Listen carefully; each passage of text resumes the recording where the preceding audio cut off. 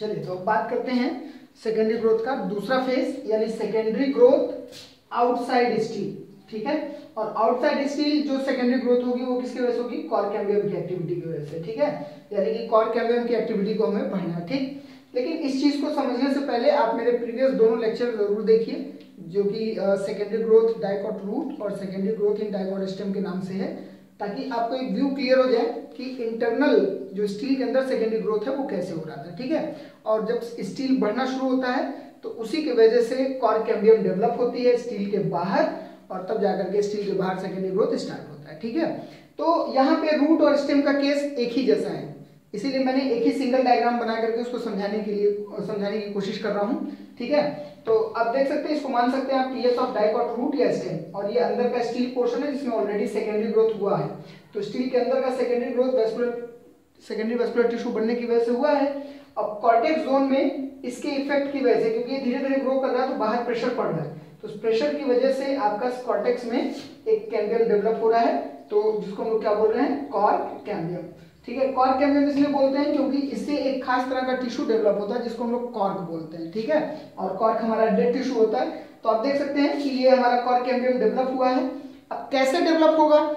इसके ऊपर भी हम लोगों ने प्रीवियस लेक्चर में डिस्कशन किया था, जो मेरा पहला लेक्चर है सेकेंडरी ग्रोथ कैम्बियम के बारे में, ठीक है? तो लेकिन फिर भी यहाँ पे हम थोड़ी सी बात कर लेते हैं। बात यह है कि अगर स्टेम का केस होगा तो हमारा जो कॉर कैम्बियम डेवलप होगा वो हाइपोडर्मिस के लास्ट लेयर या फिर जनरल कॉर्टेक्स के इनिशियल लेयर से डेवलप होगा, ठीक है?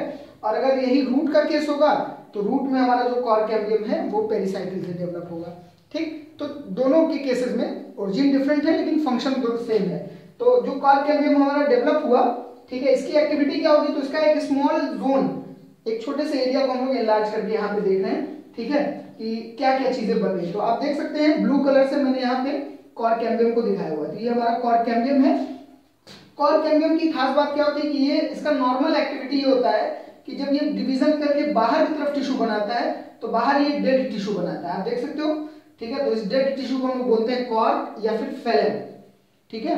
और चूँकि ये कॉर्क बना रहा है, इसीलिए कॉर्क कैम्बियम का नाम होता है फेलोजेन ठीक है? फेलन को बना रहा है, इसलिए फेलोजेन नाम हो गया।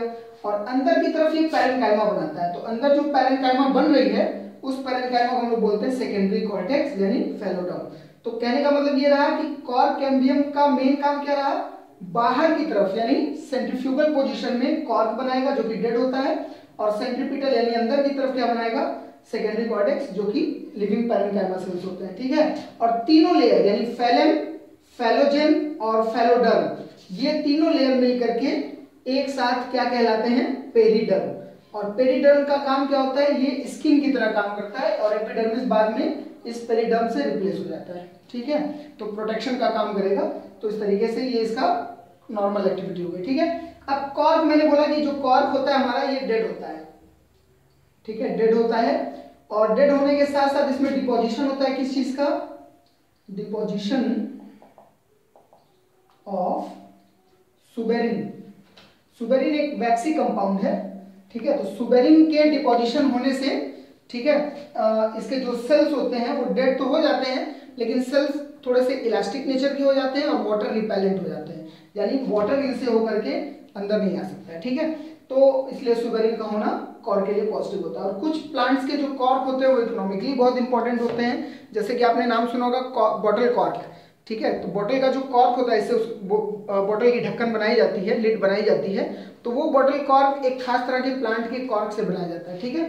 तो वो प्लांट का नाम क्या है? देखिए bottle cork is obtained from obtained from Quercus suber एक तरह का ओक ट्री है। तो क्वेरकस सुबर जो है, इसी क्वेरकस सुबर से बॉटल कॉर्क हमारा बनाया जाता है, ठीक है? यानी इसी का कॉर्क इस्तेमाल होता है बॉटल कॉर्क बनाने के लिए क्लियर तो यानी कि ओवरऑल कॉन्सेप्ट क्या रहा कि कॉर्क कैम्बियम की वजह से हमारा पेरिडम बनता है और पेरिडम तीन लेयर को मिला करके बोलते हैं फेलम यानी कॉर्क फेलोजेन यानी कॉर्क कैम्बियम और फेलोडर्म यानी सेकेंडरी कॉर्टेक्स क्लियर तो ये हो गया हमारा सेकेंडरी ग्रोथ आउटसाइड सेल तो सेम पैटर्न आपको स्टेम और रूट दोनों में मिलेगा। दोनों में सेम तरह की टिश्यूज बनेंगी, ठीक है?